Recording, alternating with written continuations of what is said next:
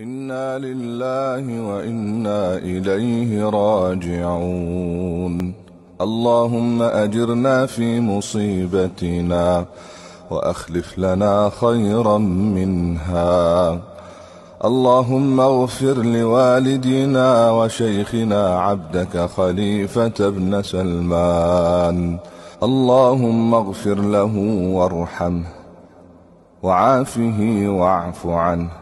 وأكرم نزله ووسع مدخله واغسله بماء وثلج وبرد ونقه من الخطايا كما ينقى الثوب الأبيض من الدنس. اللهم أبدله دارا خيرا من داره وأهلا خيرا من أهله وزوجا خيرا من زوجه وقه فتنة القبر وعذاب القبر. برحمتك يا أرحم الراحمين. اللهم إن عبدك خليفة ابن سلمان في ذمتك وحبل جوارك فقه اللهم من فتنة القبر وعذاب النار. أنت أهل الوفاء والحق. فاغفر له وارحمه إنك أنت الغفور الرحيم. اللهم عامله بما أنت أهله ولا تعامله بما هو أهله. اللهم اجزه عن الإحسان إحسانا وعن الإساءة عفوا وغفرانا. اللهم يا ذا الجلال والإكرام أنزله منزلا مباركا وأنت خير المنزلين.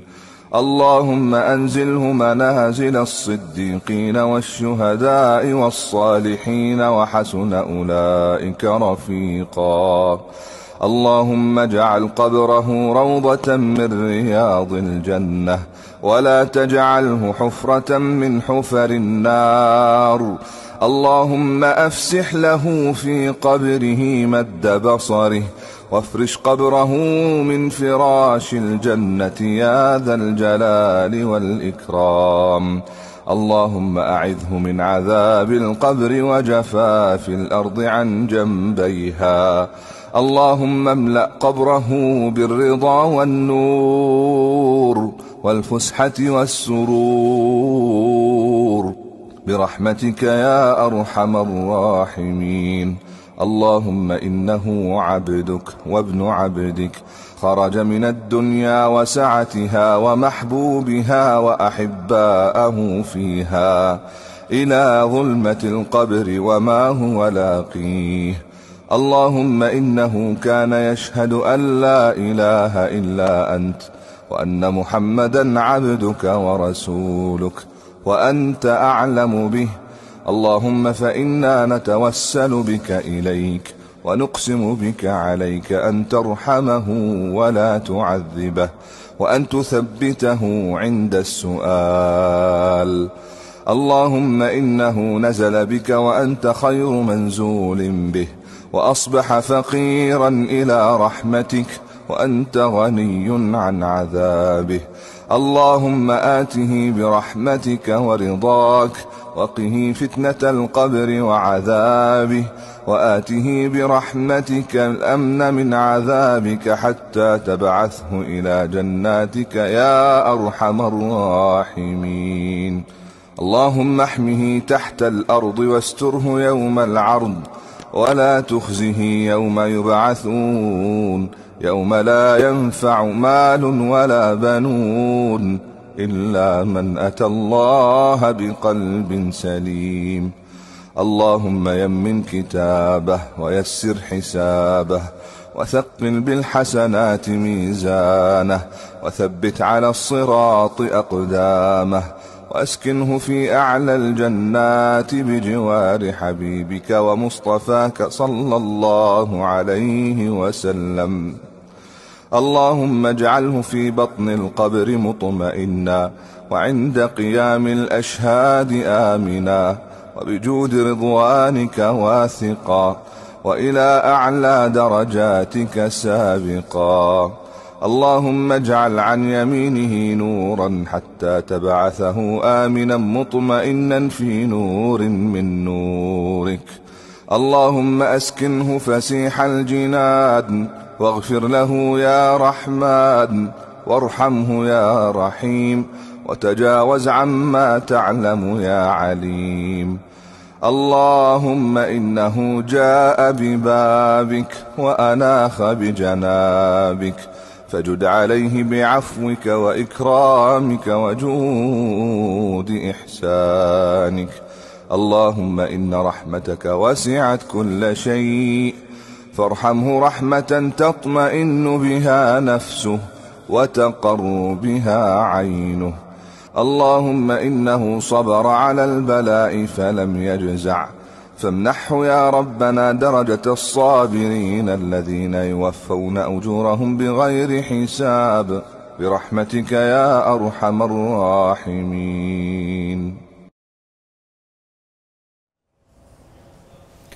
السلام عليكم ورحمة الله وبركاته. أهلا بكم مشاهدينا الكرام في هذا البرنامج الخاص والذي نخصصه لنسلط الضوء على محطات من حياة فقيد الوطن صاحب السمو الملكي الأمير خليفة بن سلمان الخليفة رحمه الله. رحل سموه جسدا ويبقى في الوجدان. هذا هو فقيد الوطن خليفة بن سلمان تلك القامة الوطنية التي فقدها أبناء البحرين بعد سنوات طوال عرفوه خلالها رجل الدولة الحكيم ورمزا من رموز الأصالة والحداثة في وقت واحد. فكان رحمه الله شاهدا على ماضي المملكة وفاعلا في تأسيس حاضرها فوضع نواة الدولة الحديثة ورعاها حتى نمت وازدهرت ووصل مسيرته العطرة في دعم المنجزات التنموية والديمقراطية وصولا إلى العهد الزاهر لحضرة صاحب الجلالة الملك حمد بن عيسى الخليفة عاهل البلاد المفدى حفظه الله ورعاه. تلك الشخصية التي وصل صداها الطيب إلى أقصى بقاع الأرض فرثاه وعز في وفاته رحمه الله الداني والقاصي فاستذكروا مناقبه وذكروا سيرته العطرة ودوره في التنمية في تنمية الإنسان أينما كان. فرحم الله الأمير خليفة بن سلمان وأسكنه فسيح جناته وألهم أهل البحرين الصبر والسلوان. لله الحمد مثل ما تفضلتم. هذا الشعب شعبكم يستاهل منكم كل ما أعطي ووفر له من صحة ومن تعليم من أمن وأمان. فالله يوفقنا إن شاء الله جميع لخدمتكم في هذا الوقت المهم اللي يجب أن نعمل آه، جد وجهد منا كلنا لتنفيذ توجيهاتكم. وشكرا طال عمرك. شكرا. شكرا. شكرا. فعلا كانت هذه هي كلماته دوما رحمه الله. رددها مرات ومرات وفي كل المناسبات. كان الهدف دوما خدمة الملك المفدى حفظه الله ورعاه لتحقيق ما يصبو إليه من رفعة وازدهار للوطن وشعبه. تتعدد الشواهد وتتنوع بين اقتصادية واجتماعية وتنموية وإنسانية. جميعها تجتمع لتكمل لوحة حياة فقيد الوطن التي تسكن كل زاوية من زوايا الوطن. مشاهدينا الكرام يرافقني في هذا البرنامج الخاص سعادة السيد أحمد الحداد عضو مجلس الشورى. أهلا بك سعادة النائب. نعزيكم ونعظم لكم الأجر بوفاة فقيد الوطن. ويعني كان بلا شك آه، صاحب منجزات كثيرة منجزات خالدة.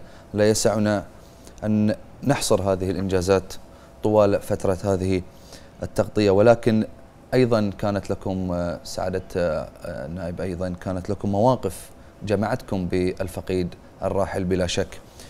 كيف تذكرون أو ماذا تذكرون من مناقب ومآثر الفقيد الراحل؟ شكرا جزيلا.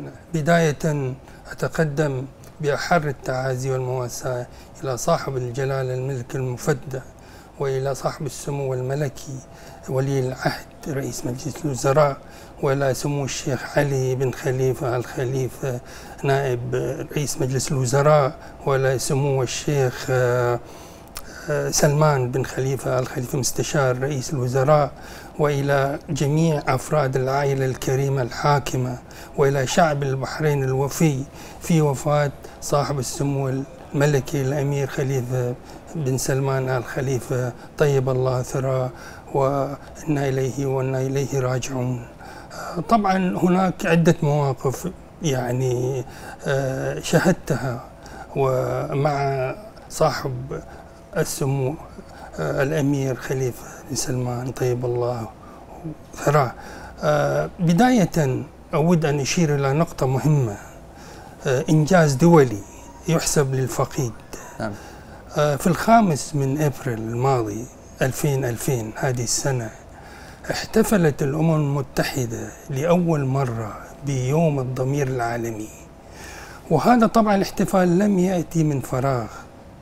بل أتى مبنيا على أسس وهذه الأسس هي التنمية المستدامة التي قام به سموه خلال سبعة عقود من توليه السلطة ورئاسة الحكومة.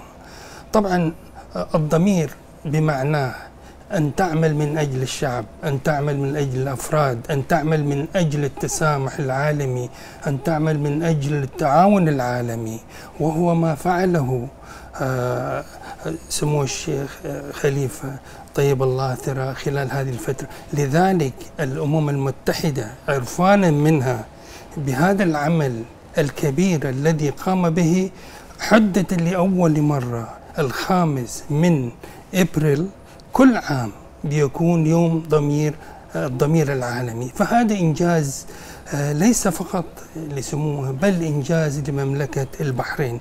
وإحنا كبحرينيين يعني نفتخر بهذا الإنجاز وهذا ليس بغريب عن سموه الإنجاز الآخر إذا سمحت لي 2006 آه، خلال الدورة 61 الجمعيه العامة المتحدة كانت رئاسة مملكة البحرين لهذه الدورة.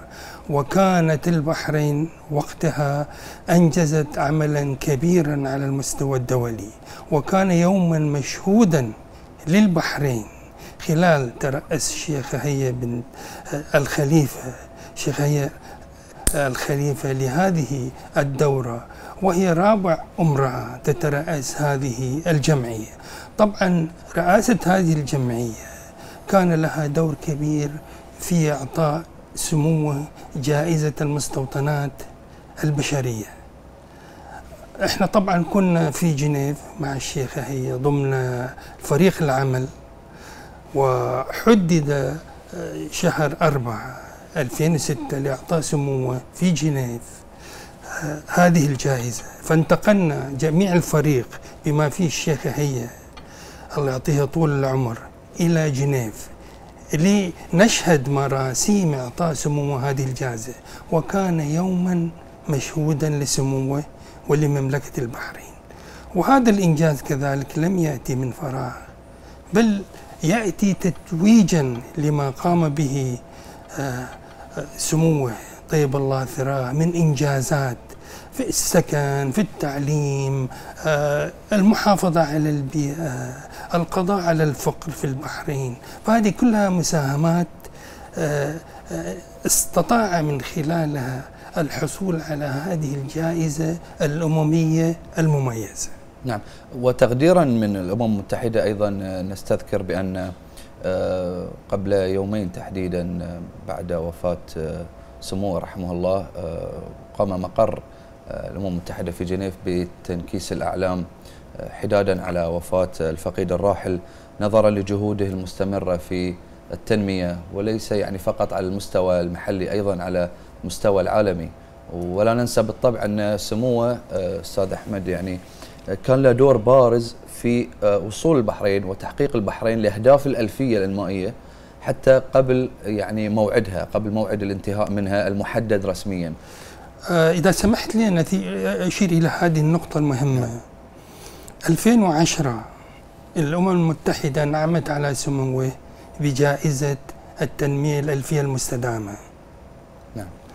الألفية اللي يجي من 2010 الألفية إلى 2015 نعم. وطبعا خلال هذه الفترة خلال رئاسته للحكومة استطاع تحقيق آه، معظم أهداف اللي هي 15 هدف آه، للألفية نعم. منها التعليم منها الصحة منها السكن منها العيش الكريم آه، منها القضاء على الفقر فهذه كلها أمور آه، من تمكين المرأة تمكين الطفل المحافظة على الطفل وسلامته. كل هذه أمور يعني الأمم المتحدة أشادت بها وتوجت بإعطاء هذه الجائزة خلال 2000 و- آه، خلال 2010 اعترافا من المتحدة لإنجاز سموه فيها لإنجازات سموه في هذا الشأن.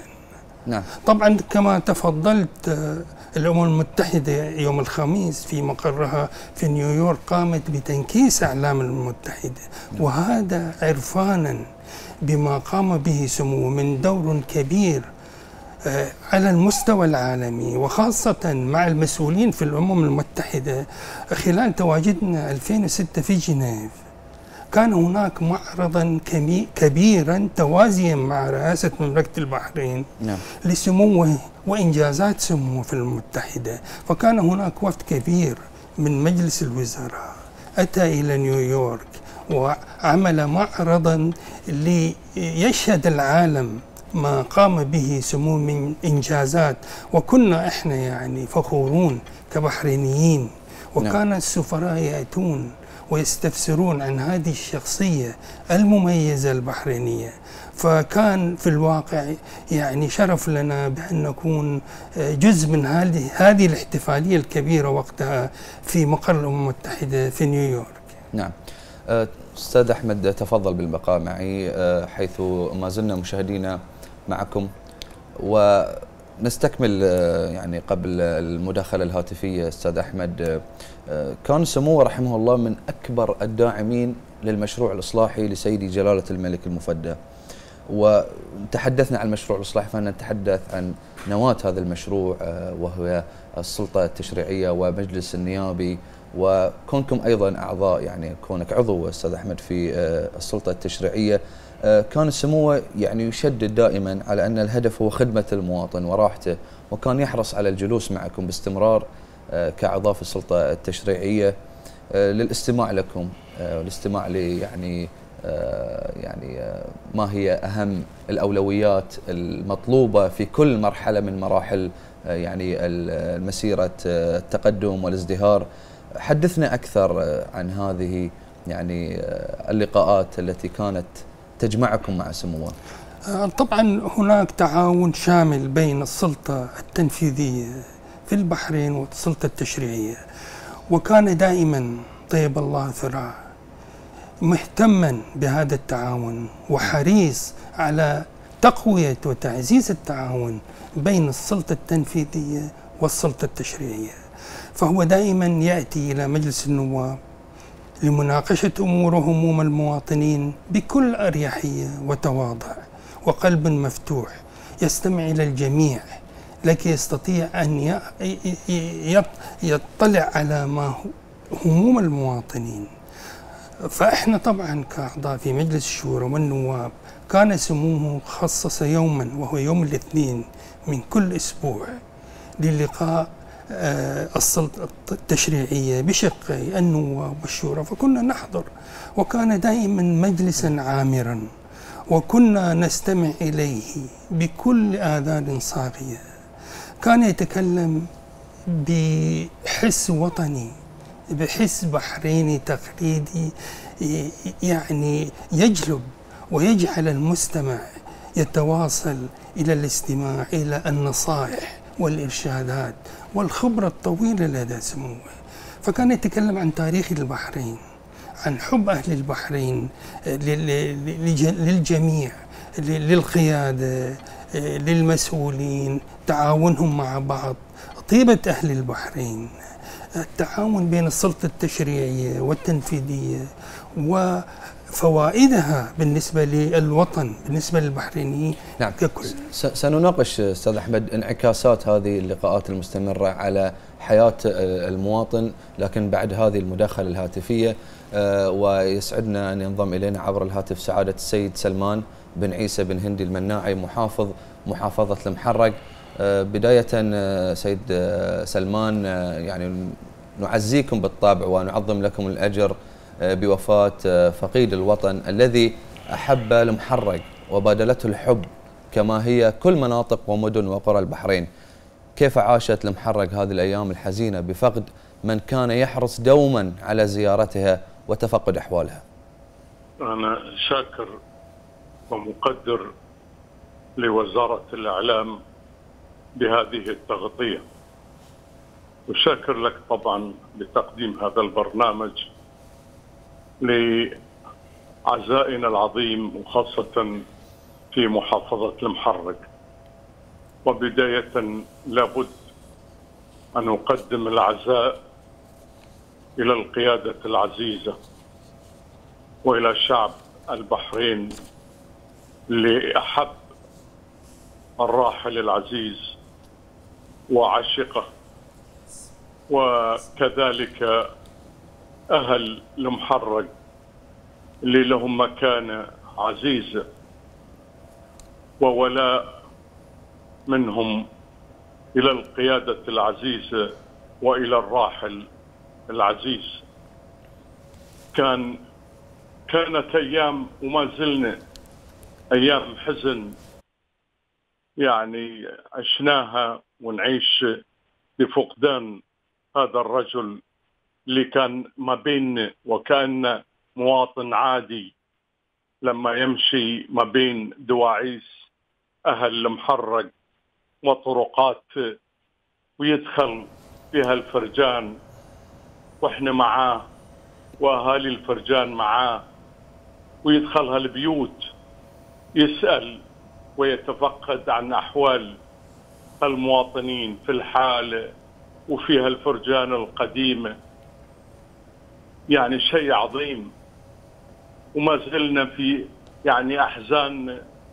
لكن إن شاء الله القيادة العزيزة وأبناء إن شاء الله فيهم البركة دائما وأبدا.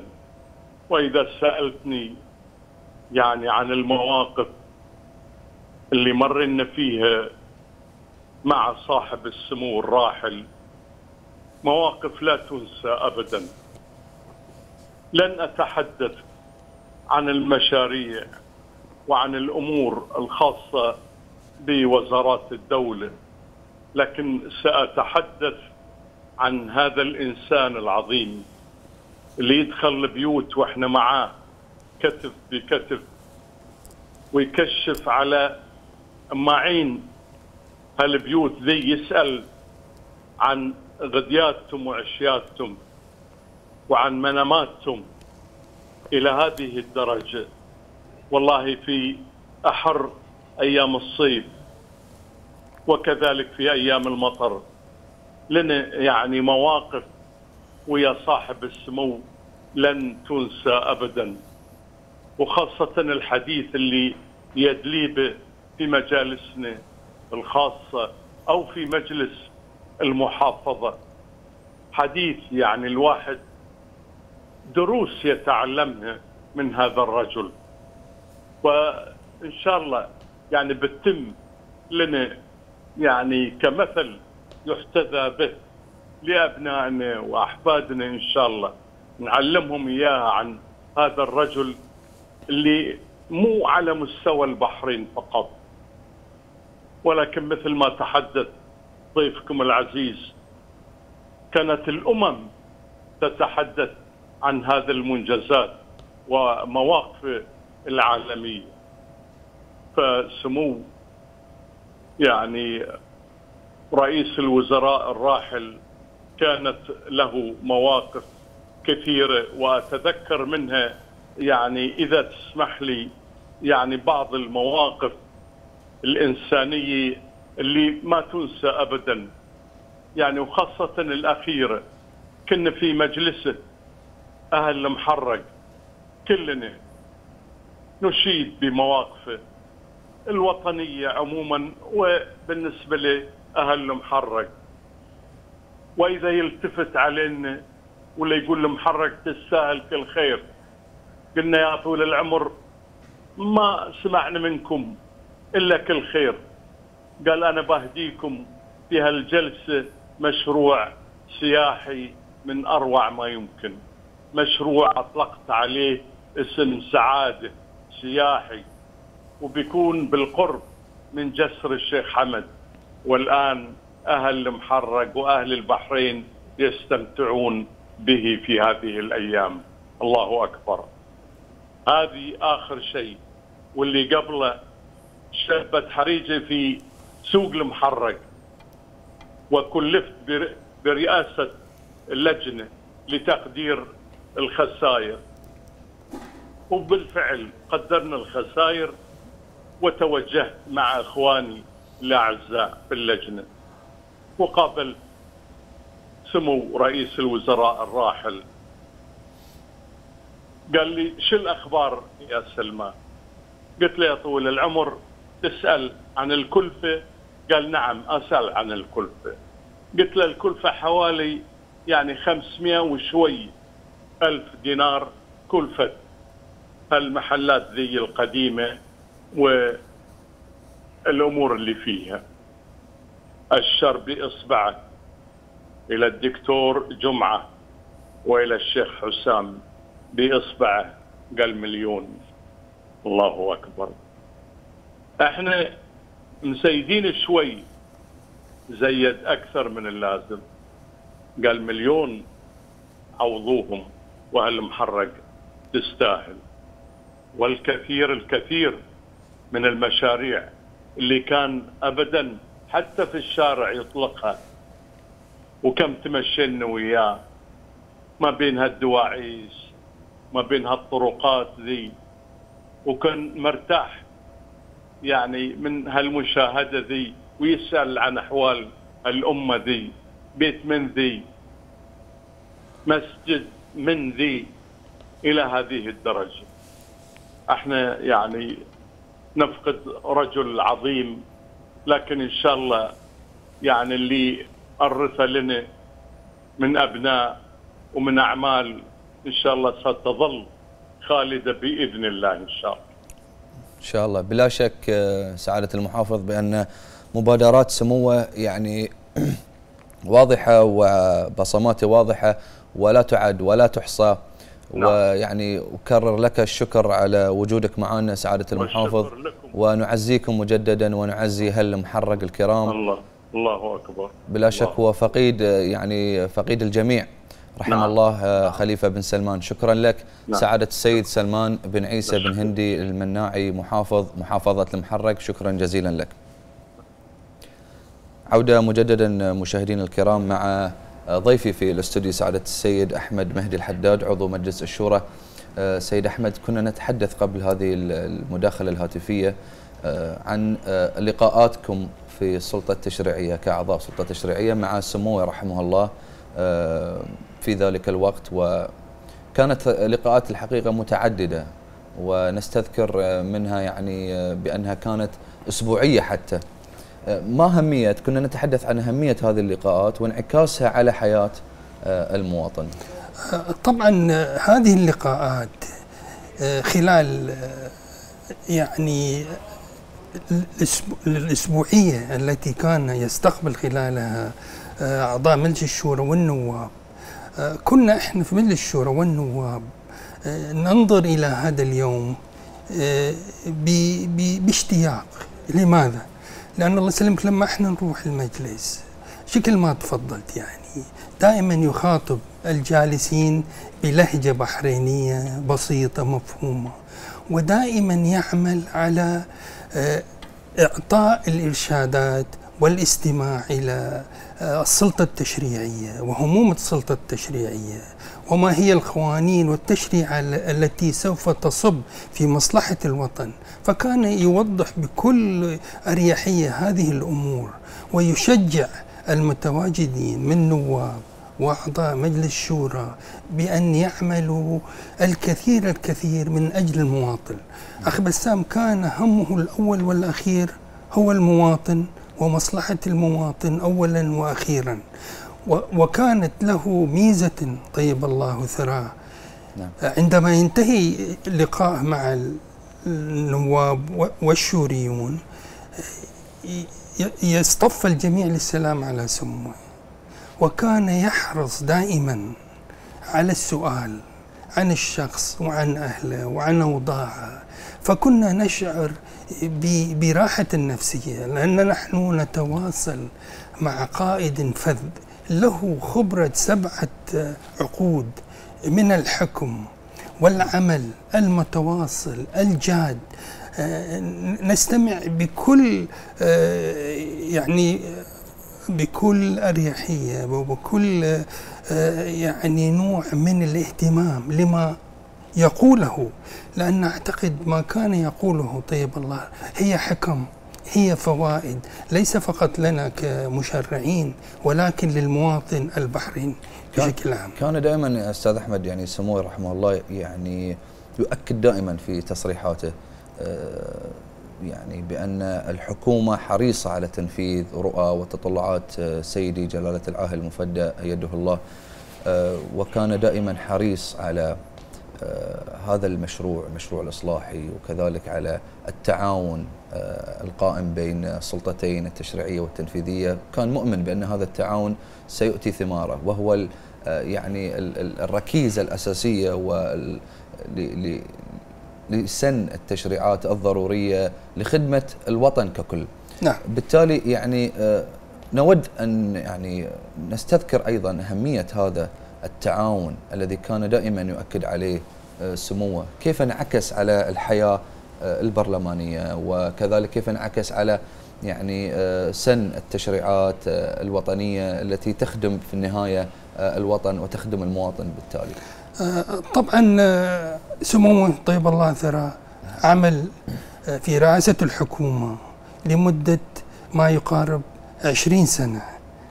من 1999 عندما تقلد صاحب الجلال الملك مقاليد الحكم نعم. فكان هو يرأس الحكومة الموقرة إلى مدة عشرين سنة طبعا هو شهد آه، ابتداء المشروع الإصلاحي تدشين الإصلاح المشروع الإصلاحي 2001 انطلاقا من الميثاق العمل الوطني وحتى يومنا هذا فكان هو الرجل المساند الذي وقف مع جلالة الملك في جميع الظروف وأعطى النصيحة التي تهم المواطن والوطن والحفاظ على أمن الوطن وتطوير وتعزيز الوطن على كافة الأصعدة. فكان طبعا رجلا مخلصا وكان رجلا شجاعا يتكلم بكل صراحة إذا كان هناك نوع من القصور وكان يتواصل مع الجميع مع المسؤولين وكان يحث الوزراء النزول إلى آه، الشوارع النزول إلى المواطنين ومحاولة فهم مشاكلهم وتسهيل أمورهم آه، لأنه كان يشعر بهموم هؤلاء المواطنين نعم. ويعمل على آه، تسهيل أمورهم وحل مشاكلهم. كان رحمه الله قائد ميداني حقيقي يعني آه، كان يعني نزوله للساحات بشكل متكرر كما نعم. ذكر يعني سعادة محافظ محافظة المحرق كان حريص على أن يكون موجود مع المواطنين لاستماع همومهم. يعني لا شك بأن هذا الأمر يعني ترك أثر كبير عند آه، المواطنين. أخ بسام ليس هو قائد ميداني قائد ميداني بلمحه إنسانية. نعم. رجل عنده حس إنساني عنده حس التواضع ولكن مع الحزم تواضع بالحزم نعم. إذا رأى شيء يعني غير صحيح يعمل ويعطي النصائح للوزراء والمسؤولين في الدولة لتصحيح هذه الأمور وهذا طبعا كسب كسب المواطنين حب المواطنين نعم. وحب الذين يعملون معه فهذه ميزة قلما يعني يكون قائدا له مثل هذه الصفات الحميدة المميزة والتواصل مع المواطنين في جميع الأمور في جميع الأوقات. نعم. أه نستكمل معك هذا اللقاء. تفضل بالبقاء معي أستاذ أحمد. أه كما كان لفقيد الوطن مواقف وشواهد في أه الداخل البحرين وكانت له سيرته الطيبة ومواقفه الراسخة على الصعيد الخليجي والإقليمي والدولي. وحرص فقيد الوطن الكبير على توطيد علاقات التعاون بين مملكة البحرين ومختلف دول العالم مما عزز من مكانتها إقليميا ودوليا انطلاقا من رؤية شاملة انبثقت من التأكيد على الاحترام المتبادل والسعي من أجل تحقيق المصالح المشتركة. وينضم إلينا في هذا البرنامج الخاص من الرياض الكاتب والمحلل السياسي السيد عبد الله العلمي. آه، بعد التحية سيد عبد الله كان رحمه الله دائما ما يكرر أن المملكة العربية السعودية الشقيقة هي السند القوي والعضيد آه، والعض المتين وأن البحرين والسعودية وطن واحد وشعب واحد. كيف تنظر السعودية الشقيقة الكبرى إلى هذا الفقد الكبير بفقد هذه الشخصية الخليجية والعربية بوفاة سموه رحمه الله؟ بسم الله الرحمن الرحيم. آه، بداية آه، يعني بقلوب عامرة بالإيمان. آه، نرفع إلى مقام حضرة صاحب الجلالة الملك حمد بن عيسى الخليفة عاهل البلاد المفدى حفظه الله. خالص التعاسي وعظيم المواساة. وطبعا إلى الأسرة المالكة الكريمة وإلى جميع مواطني مملكة البحرين الشقيقة بوفاة صاحب السمو الملكي الأمير خليفة بن سلمان آل خليفة رحمه الله. يا أخي انسكب الحزن على البحرين آه، في رحيل الرجل الشام الشجاع ولا توجد كلمات يعني تفي حق هذا الرجل. إجابة على سؤالك بالنسبة للمملكة العربية السعودية آه، طبعا الفقيد آه، كان لا يخفي حبه للسعودية مطلقا لا حكاما ولا شعبا. أتذكر في 6 أبريل 2013 عقد صاحب السمو الملكي الأمير خليفة بن سلمان آل خليفة رئيس الوزراء رحمه الله اجتماعا في الرياض مع أخيه خادم الحرمين الشريفين الملك سلمان بن عبد العزيز. كان وقتها الملك سلمان كان وليا للعهد. أكد في هذا الاجتماع هذا دليل على الروابط بين البلدين. أكد في هذا الاجتماع على ثلاث أو أربعة امور هامه جدا. اولا أكد على الرغبة الأكيدة للبلدين لتعزيز التعاون الثنائي.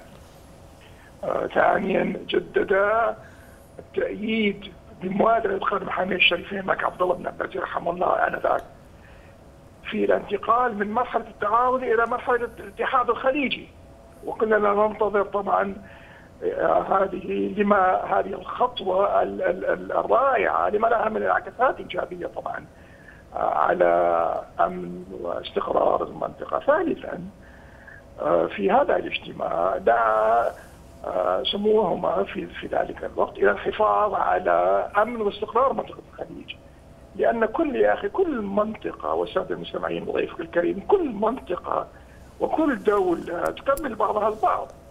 ولابد من آه، المزيد من التعاون والتواصل لأمن واستقرار المنطقة. رابعا في هذا الاجتماع الهام جدد الملك سلمان الأمير سلمان آنذاك. وقوف المملكة العربية السعودية داعم لمملكة البحرين. وهذه نقطة هامة جدا.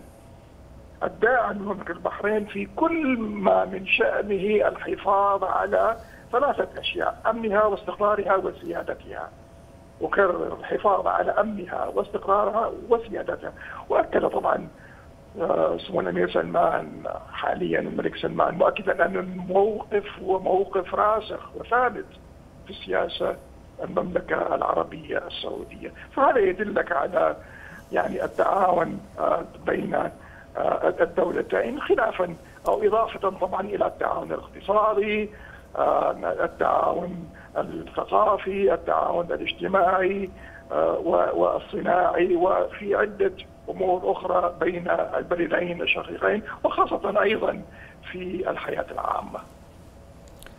نعم شكرا لك من الرياض الكاتب والمحلل السياسي السيد عبد الله العالمي شكرا جزيلا لك.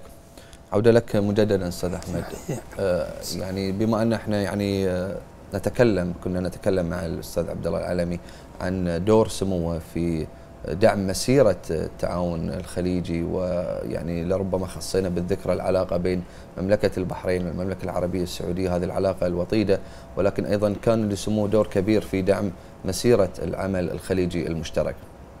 آه بدون شك يعني سموه طيب الله ثرى كان له دور كبير في تعزيز التعاون الخليجي على جميع المستويات. فكما تفضل ضيفنا الكريم المملكة العربية السعودية.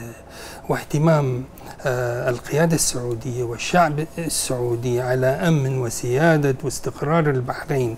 فكان دائما يعتبر المملكة العربية هي الأساس هي الحامي للأمة وللجميع وهي القائد الأول لمسيرة مجلس التعاون الخليجي على جميع المستويات. فكان دائما حريص على تعزيز هذه العلاقة القوية بين آه، المملكة العربية السعودية الشقيقة ومملكة البحرين.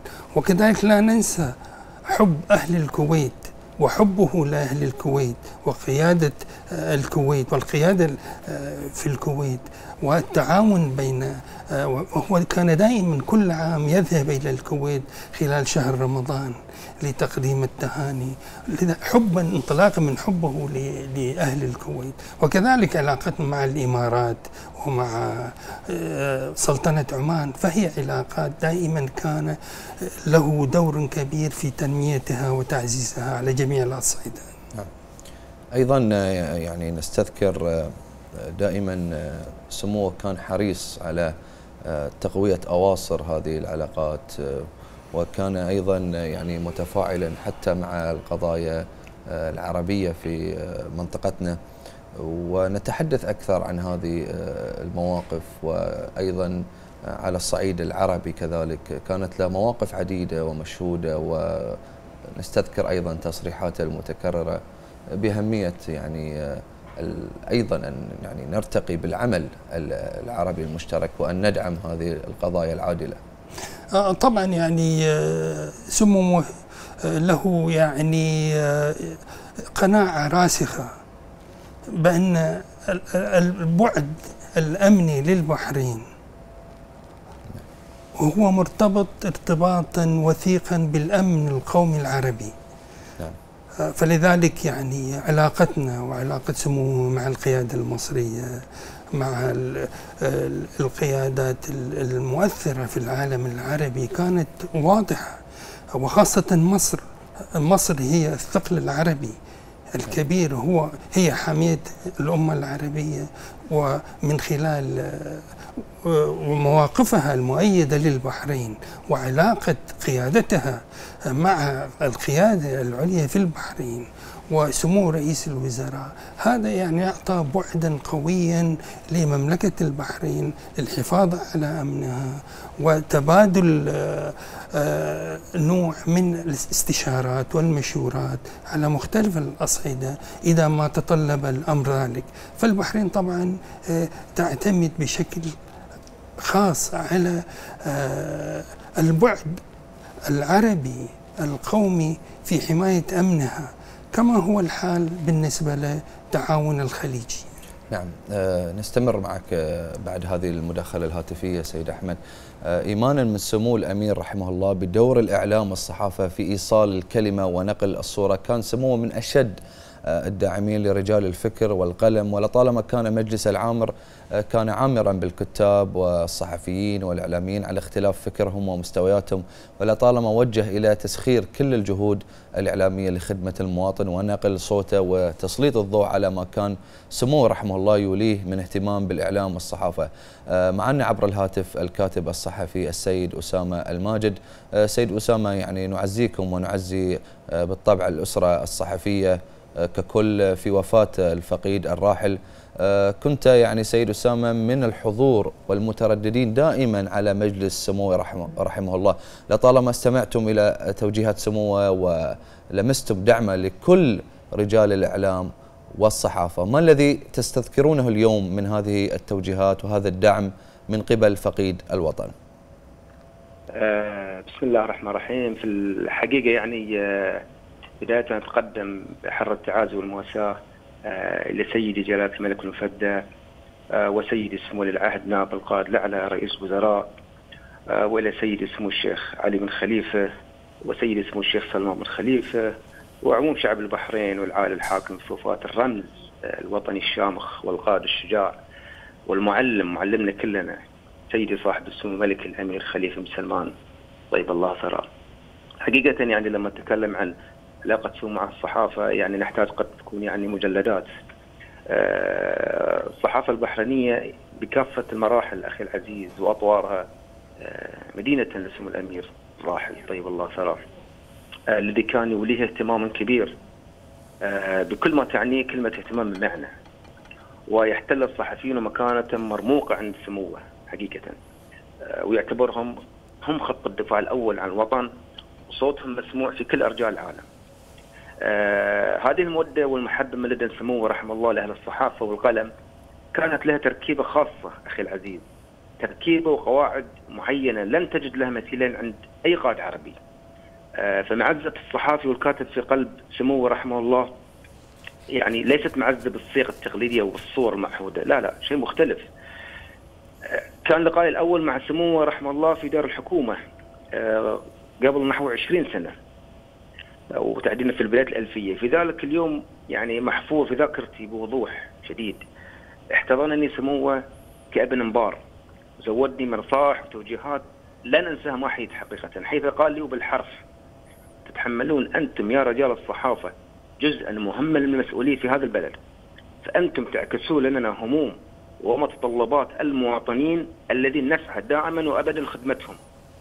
وإذا كنتم الشعبي وإذا كنتم تريدون أي شيء فمجلسي مفتوح لكم في أي وقت. تعالوا وقولوا ما في خاطركم وناقشوني. آه فسموه رحمه الله كان المناصر الداعم للصحفيين بلا استثناء سموه كان يعتبر الصحافة شريك أساسي في البناء والنهوض بالمجتمع ومسيرته. وكان آه بالنسبة للصحافة عند سموه لها تأثير مباشر وقوي في الأهداف والغايات المحددة اللي تريدها المجتمعات. ولهذا نجد أن سموه طيب الله ثراه متابع وبدقة لكل ما ينشر في الصحافة ويوجه المسؤولين في الدولة لمتابعة هذه القضية أو الشكوى سواء كانت راهنة أو طارئة ولا يهدأ له بال رحمه الله إلا بعد معالجة المشكلات والتأكد شخصيا أعيدها شخصيا على سير العمل وتفاصيله في كل المراحل والظروف. كانت ثقته رحمه الله في الصحافة كما عرفناها عن قرب ثقة منقطعة النظير. وأعطاها هذا الموقع الرفيع والمرتبة العليا في البناء والتشييد وحماية المجتمع من السلبيات. وأزيدك أخي العزيز أن لا تقتصر مواقف الإنسانية في حدود الوطن رحمه الله وإنما آه، يحيط سموه كل محتاج في كل بقعة من بقع الأرض يسمع عنها ويقرأ قضية في الصحف ويعطيها اهتمامه.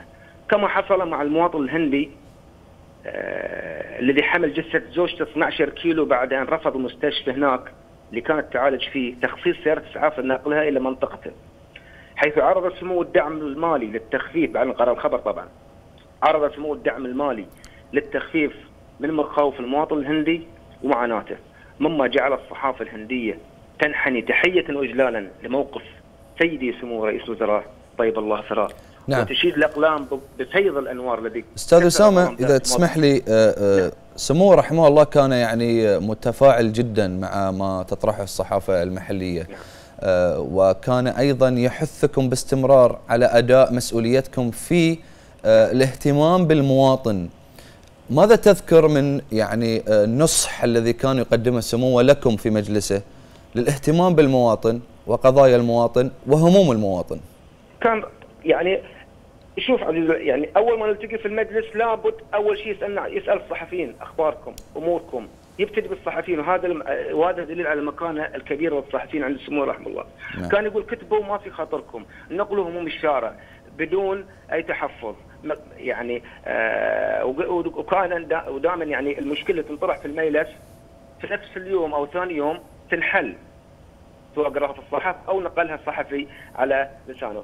وكثيرة هي الشكاوى وكثيرة هي المواقف اللي ذكرت في الصحافة وتدخل سمو حلها آه، مشاكل لا حصر لها. وفي الحقيقة إحنا آه، هو كان سندنا الوحيد وكان سندنا الداعم ومن من أهم اللي كان النصائح اللي كان يقولها في المجلس للمسؤولين افتحوا أبوابكم للصحفيين اتبعوا سياسة الباب المفتوح. ولهذا سموه طال عمره يعني لصيق كان من الشارع. يعني يبتدي يومه رحمه الله بقراءة الصحافة وبريد القراء بالأخص. وهذا معناته أنه يلتمس آه، معاناة الشارع وهموم المواطن العادي. حقيقة خسارتنا في طول العمر رحمة الله عليه يعني آه، خسارة فادحة في الحقيقة قائد لن يتكرر أبدا. نعم. كان يعني يقول دائما سموه انتقدوني ولكن لا تسيئوا للوطن. نعم. نعم شكرا لك الأستاذ والكاتب الصحفي السيد أسامة الماجد. شكرا جزيلا على وقتك. عودة لك مجددا سعادة السيد أحمد حداد عضو مجلس الشورى. أه لعلنا استمعنا إلى ما قاله الزميل الصحفي أسامة الماجد. الاهتمام سموه يعني بجميع ما يطرح على وسائل الإعلام وجميع الوسائل بدون نعم. استثناء حتى مع وجود وبروز وسائل التواصل الاجتماعي آه، والتطبيقات آه، كانت هناك أيضا مناشدات لسموه من خلال هذه التطبيقات وكان يستجيب لها باستمرار يعني كيف تنظرون لهذا الجانب؟ آه، في الواقع أنا دائما يعني لما أقرأ الصحف كل يوم أروح لباب الشكاوي نعم فأرى الكثير. كل ما تفضل ضيفنا الكريم وذكر شكاوى المواطنين هموم المواطنين والرسائل التي توجه مباشرة إلى سموه طيب الله ثراه ومخاطبته بحل مشاكلهم. ويأتي الجواب من آه، مجلس الوزراء ويقومون بالاتصال بهؤلاء الأشخاص. كي يطلعوا على المشاكل ويحاولوا قدر الإمكان حلها. فهذا طبعا يحسب لهذا الرجل الشهم الذي يتابع هموم المواطنين. كما تفضل ضيفنا الكريم وذكر إحنا خلال لقائنا في المجلس الأسبوع يوم الاثنين للشورى والنواب دائما يقول أنا أطلع على الصحف كل صباح. فهذا دليل على اهتمام انسان بمواطنيه بهمومهم حل مشاكلهم فكما ذكرت يعني حس إنساني آه، يعني لا يتمز به إلا القليلون في هذه في هذا العالم. نعم. أيضا يعني نستذكر من مواقف سمو العديد كانت له مواقف إنسانية كبيرة آه، حتى يمكن ذكرها الأستاذ اسامه الماجد آه، كان يتفاعل أيضا مع قضايا آه، قد تكون ليست محلية فقط إنما أيضا قضايا آه، نعم. يعني آه، من مختلف دول نعم. العالم كما كانت يعني يده البيضاء نعم. يعني ممتدة أيضا للضعفاء والمساكين في دول العالم طبعا شكل ما ذكرت هذا لم يأتي من فراغ نعم. هذا أتى من خبرة متراكمة على مدى سبعة عقود كان في السلطة. ويعي ويعرف هموم المواطنين وهموم ال ال ال الآخرين في الدول الأخرى ويتابعها ويحاول قدر الإمكان حلها. يعني بعطيك مثل بسيط أخ بسام. نعم. يعني علاقتنا الخليجية واهتمام سموه ليس فقط على المستوى الاقتصادي أو التجاري أو المالي بل الإنساني. آه لما كان الله يرحمه الشيخ زايد حاكم الإمارات طيب الله ثراه كان يتعالج في جنيف. نعم. فكنت أنا موجود أعمل في وفد البحرين في جنيف فاتصل سمو رئيس سمو الشيخ علي بن خليفة وقال الوالد بيجي بيطمن على صحة الشيخ زايد فإذا ممكن ترتيبات. فطبعا أتى آه، وصلت الطيارة ونزلنا إلى الفندق. وذهبنا إلى المغفور المرحوم الشيخ زايد واطمن على صحته وبقى هناك ساعة أخي بسام. نعم. وكان حديثا شيقا وكان كلامه حكم ينبع عن شخصية لها تجربة ومواقف عملية في الحياة. كنت يعني أستمع بكل اشتياق. فهذا دليل على يعني ما يقوم به سموه طيب الله الثراء من اهتمام. ليس فقط الشق المالي بل الإنساني. وهذا طبعا عزز علاقة البحرين. ليس فقط مع دولة الإمارات بل مع دول العالم بشكل عام. نعم. لما أتى رئيس وزراء مودي إلى البحرين قبل سنتين كان هيأ له اجتماعا و, و أمور كثيرة. آه، اعترافا من سموه لدور الجالية الهندية في تنمية اقتصاد وبناء البحرين الحديثه وهذا طبعا في المقابل أخي بسام يعكس حب هؤلاء القواد إلى هذه الشخصية المميزة. أن, أعتقد أن مثل هذه الشيء لن تتكرر آه، مرة ثانية. جملة يعني جملة من القصص ويعني اللحظات يعني الإنسانية إحنا في البحرين نعم. نفتخر فيها في البحر ونفتخر بهذا الرجل نعم. وإن شاء الله يكون خير خلف لخير سلف إن شاء الله إن شاء الله ولا شك هي يعني لحظات ويعني محطات تاريخية للسمو وعصية على آه، النسيان آه، يعني آه، عشناها وشفناها يعني بأجيالنا يعني المتعددة والتي يعني شهدت يعني شخصية سموه رحمه الله ونكرر عزانا لأهل البحرين ونكرر عزانا لسيدي جلالة الملك المفدى أطال الله في عمره ونكرر العزاء كذلك لسمو ولي العهد نائب القائد الأعلى رئيس الوزراء بوفاة الفقيد الراحل. ووصلنا معك أستاذ أحمد لختام هذه آه، التغطية والختام هذا البرنامج الخاص. كنت ضيفا عزيزا سعادة السيد أحمد مهدي الحداد عضو مجلس الشورى. شكرا جزيلا على تواجدك معنا. شكرا أخ بسام. والله إن شاء الله ربنا يرحم المغفور له. طيب الله ثراه. وان اليه وان إنا لله وإنا إليه راجعون. وهذه حال الدنيا.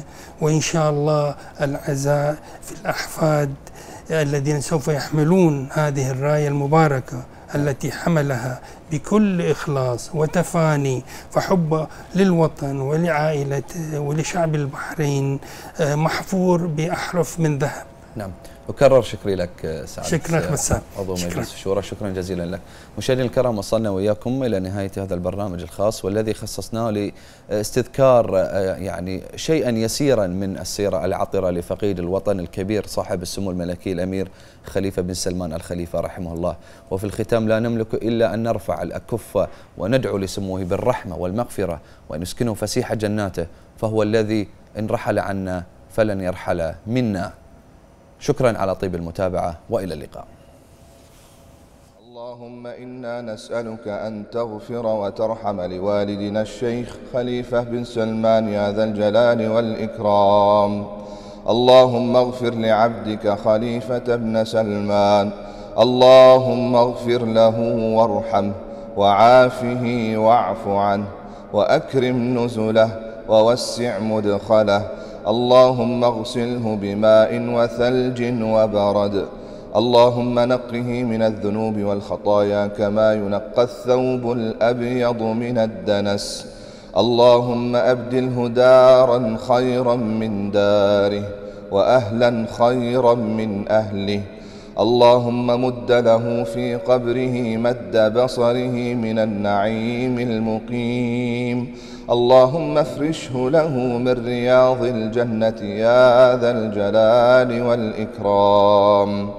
اللهم آنس وحشته في قبره بعمله الصالح وبخباياه عندك يا ذا الجلال والإكرام. اللهم إنه قد ودع هذه الدنيا ونزل في منزلك وأنت خير المنزلين. اللهم فأكرم نزله اللهم أكرم نزله وأحسن وفادته. اللهم يا أكرم الأكرمين يا أكرم الأكرمين. إن أحدنا إذا نزل ببابه ضيف أكرمه وأنت رب العالمين وأكرم الأكرمين. فأكرمه بكرمك يا منان يا ذا الجلال والإكرام. اللهم إنا نحسبه وأنت حسيبه ولا نزكي عليك أحدا أنه كان من المؤمنين الصالحين في هذه الدنيا وأنه شهد أن لا إله إلا الله وأن محمد رسول الله اللهم فاغفر له بها اللهم فاغفر له بها. اللهم وأنزله منازل الصديقين والشهداء والصالحين. وحسن أولئك رفيقا. اللهم اجعله ممن صبر على البلاء فلم يجزع. وجازه يا ربنا أجر الصابرين بغير حساب. اللهم يمن كتابه. ويسر حسابه. اللهم اجعله ممن يدخلون الجنة بلا حساب ولا سابقة عذاب يا رب العالمين.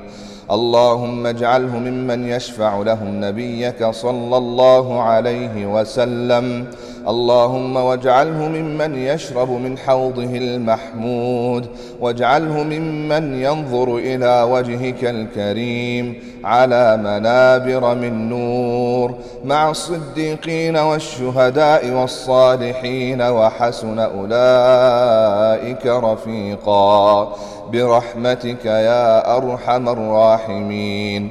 اللهم إن أهل البحرين يشهدون له بمحبة يشهدون له بالمحبة ويشهدون له يا رب ويشفعون عندك يا ذا الجلال والإكرام. اللهم فشفعهم فيه يا رب العالمين. اللهم ربنا رب الأرباب آنس وحدته في قبره اللهم آنس وحدته في قبره. اللهم آنس وحدته في قبره يا رب العالمين. اللهم يا واسع المغفرة. اللهم يا من وسعت رحمته كل شيء. أنزل عليه شآبيب رحماتك يا ذا الجلال والإكرام. برحمتك يا أرحم الراحمين. اللهم وأنزل على أهله وذويه وأهل البحرين الصبر والسلوان. اللهم ألهمهم الصبر والسلوان. وأنزل عليهم سكينتك يا ذا الجلال والإكرام. برحمتك يا أرحم الراحمين.